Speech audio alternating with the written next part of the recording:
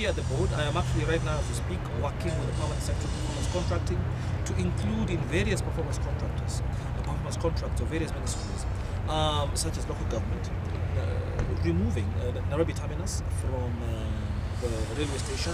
A plot of land has been identified to relocate the Nairobi railway station Matatu terminal to a different location so that you can have the ability to modernize the Nairobi railway station. So the challenges that have been raised is exactly why we meet regularly with uh, people like Kenya Railways, or next week, one of Wednesday, we shall be Kenya Airports Authority to help them debottleneck some of these issues. The funding for the core phase is also approved. That the entire railway station core phase, uh, commuter rail core phase, should be completed uh, mid 2014. You see situations where uh, action is taken and the politicians turn up and very, in my view, uh, make it difficult for public interest projects such as this to progress for political expediency.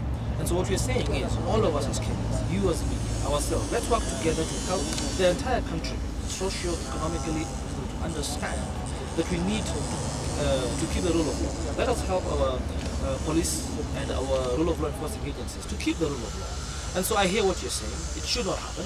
Um, we should actually clear all the wayleaves, whether it's not just for the railway, roads as well.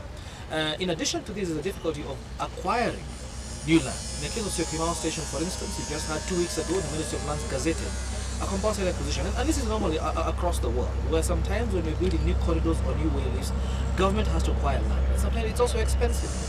Uh, land around Nairobi has also gone up. So these are all the various challenges that are normally not seen or clearly apparent to the public that we have to deal with. But I am happy to say that as far as this commuter rail project is concerned, we seem to be able to have uh, gone over the hump, over the hurdle, and we are on course to start now uh, launching a series of new stations and railway tracks over the next two to three years. Uh, are we going to have social political issues developing this country? Of course, they will not. We will continue to address them. But I do think that the public is slowly beginning to understand the importance of supporting this.